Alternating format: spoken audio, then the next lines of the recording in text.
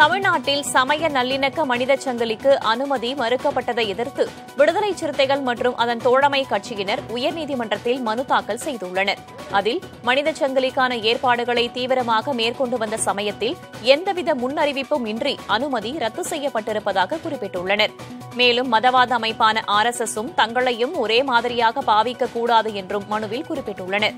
எனவே சமய நல்லிணக்க மனித சங்கிலிக்கு அனுமதி மறுத்த உத்தரவை ரத்து செய்ய வேண்டும் என்று அவர்கள் வலியுறுத்தியுள்ளனர். இந்த வழக்கு விரைவில் விசாரணைக்கு வரும் என்று எதிர்பார்க்கப்படுகிறது.